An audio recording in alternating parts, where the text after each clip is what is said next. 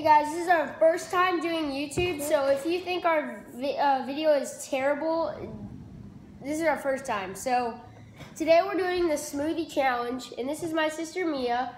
She's gonna do it along with me, and we're going to draw a number from this thing, or this bowl, and whenever we draw one, we're gonna go get a bag back there and put it in our smoothie.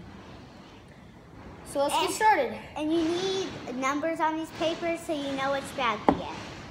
So let's get started. Crap! Okay, I'll go first.